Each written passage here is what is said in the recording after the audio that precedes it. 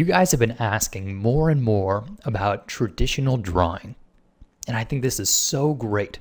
You really get that it's important to be able to draw something before you can paint it. There's really no getting around this. So, my answer to this idea has been a couple months in the making, and it's called Control Paint Unplugged. And what we're going to do here is traditional drawing. Now, yes, I do record these in Photoshop and I'm not using a real pencil, but everything else about it is traditional. I'm not using layers, none of those digital tricks. Everything you do here is designed to be reproduced at home with copy paper, a pencil, and an eraser. Nothing fancy. So today, we're drawing spoons. And I'm going to use spoons as an introduction to an idea which is called gesture drawing. And what you're doing here is you're not drawing the careful contours, but rather you're drawing the general sense of something. And this is a great way to get more comfy with drawing. So I'm going to use the side of my pencil here, and I'm going to draw a straight line in the general orientation that the spoon is laying in the table in front of me. And this is sort of like the direction that the shadow is cast on it, directly below the spoon. And then I'm going to divide this up because my spoon has about one third of it as a head. So that's up here. And then at the very end, it ends. So you've got a spoon head. And I'm just going to start drawn from my shoulder, really loosely roughing this in. And then this connects to a big arch, which ends at the bottom. So you can see here that those lines ahead of time gave me where to start and stop my mark.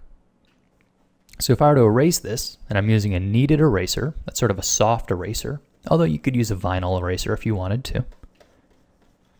So when I go to draw my arch, I'm not going to draw it slowly and carefully like this.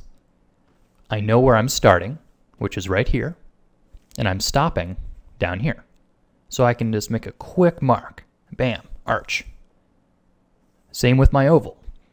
I know that it's going to be starting here and stopping here.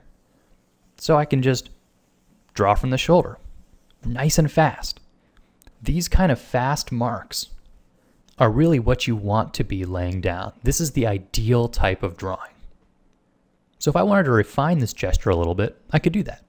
And maybe at this point I'd switch to the tip of my pencil, which is going to give me a sharper, slower mark because it's going to physically dig into the surface of the paper more, and that'll slow me down. So here I know that the tail end of the spoon is actually a bit flattened, and I can make a little more specific mark here. And maybe I'll work on this transition between the head of the spoon and where it connects to the shaft. But these things aren't as important as the gesture itself, because the gesture is sort of uh, a understructure. So let's try another one. So here we go. I'm starting with the side of my pencil. And this is important because this is what you can make nice, gentle marks with. So here's my general direction. This is my spoon. And this next phase, marking off that third mark, the how much of the spoon is ahead, is a pretty important thing. And this is where visual measuring can really get practiced.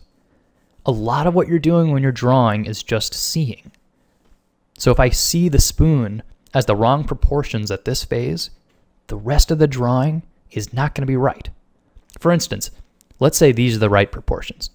But what I drew was here's the line, and the head is about like that, and here's the tail. Well, I could draw the most beautiful spoon here, but it would have this giant head.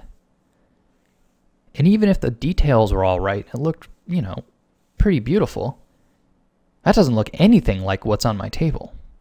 So those proportions, which is really what you're going for with the gesture, sort of proportion and general sense of an object. Well, they're all wrong right here. This is not what I want at all. So we'll assume I got this right. And it's pretty close looking at it. Next, I'm going to draw the major arc. So one good mark. All right. And then this kind of S curves up through the spoon. And then there's a head shape. So sometimes you can even think of the internal contours. So here the profile of the spoon goes like this. And if I were to draw it in a total profile view here, this is what you'd be seeing. It goes up, down, and then loops around. And there's a bit of a straight bit here. So once again, it's this loose gestural phase that I'm drawing with the side of my pencil and really making long flowing marks that's going to help define so much of the drawing to come. Even if I were to erase this away a bit with the kneaded eraser just to kind of lighten it up, just enough to show me a little structure, and then go in and refine the specifics of what this spoon looks like, it's still that under skeleton that's going to define so much. So it's important to get that initial looseness that you'll then tighten up later. But it really helps the drawing in the long run. So I'd say that this phase, the tightening phase that I'm doing right now, not important. At this point, forget about it. I want to give you some homework. I don't know if you're going to art school right now, never plan to go to art school, whatever it is, these are going to be basic drills like you might get at an art school. So for this one, 20 spoons. They're going to be gestures, so it doesn't need to be all that detail. In fact, you could do the entire thing with just the side of your pencil, if that's how you wanted to do it. All you're really going for is the general sense and good proportions. Now, you might find that 20 spoons, you're starting to really get the hang of it. Then do 30. This is one of those things where repetition really does count. So have fun with this. Get used to the side of your pencil. You may have never drawn with that before. And draw some spoons. Thanks for watching, guys.